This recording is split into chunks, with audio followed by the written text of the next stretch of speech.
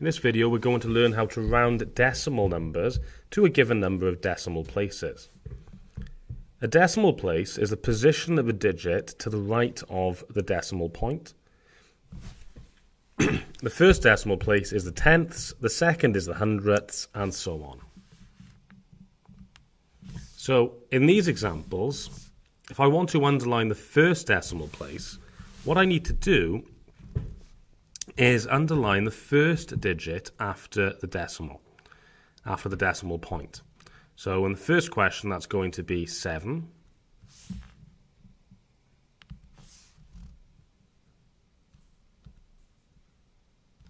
In the second, it's going to be 0.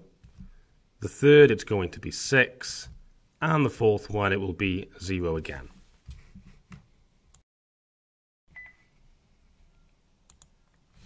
If I want to underline the second decimal place in each of these numbers, I'm going to look at the digit which is two places to the right of the decimal point. In the first question, that's going to be 8. The second question, 0. In the third question, there isn't actually a second decimal place. I would have to write 0 in and underline it. In the last one, it would be 3.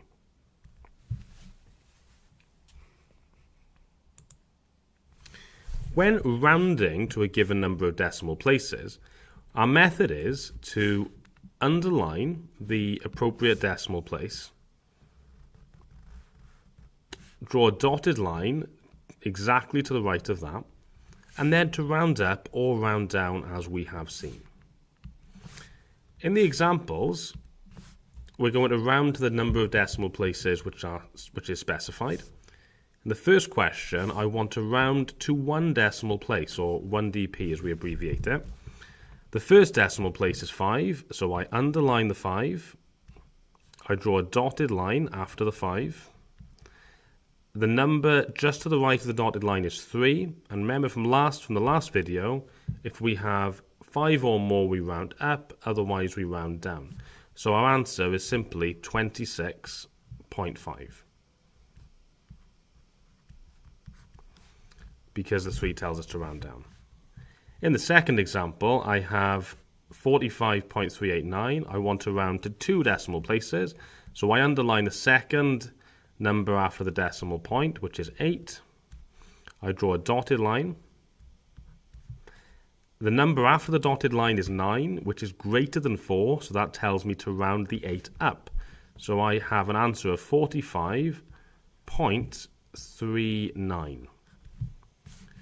In the third example, I want to round to three decimal places.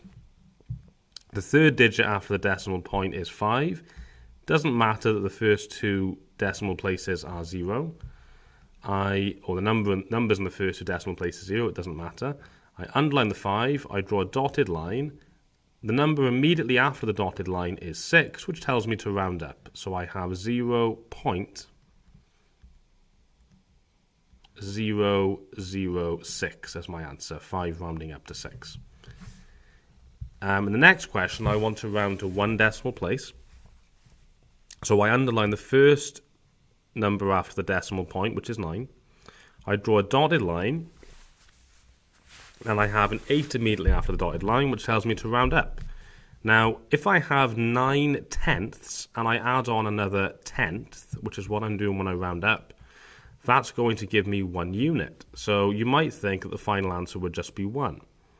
But because we're rounding to one decimal place, we need to give our answer as 1.0 because that tells the person who might be checking your answer that you have indeed rounded to one decimal place. In the second, in the final example, sorry, I'm going to round to two decimal places. So I underline the 9, which is in the second decimal place. I draw a dotted line. The number immediately after the dotted line is 7, which tells me to round up. Um, so that will round the 9 in the hundredths column up to 10 hundredths, which is 1 tenth. And then that will round the 9 in the tenths column up to 1 unit. So again, you might think the answer is just 1. But because we're rounding to two decimal places, I need to give my answer as 1.00.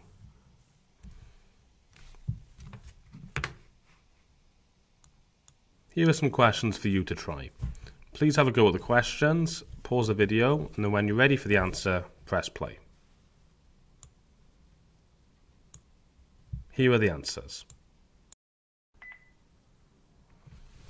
One thing that's really important to note here is that in question D, we want to round to one decimal place, so I would underline the 9, which is in the uh, which is the number, the first number after the decimal point. Um, I would draw a dotted line. The 7 would tell me to round the 9 up, giving me an answer of 79. But because I want to round to one decimal place, I need to give my answer as 79.0.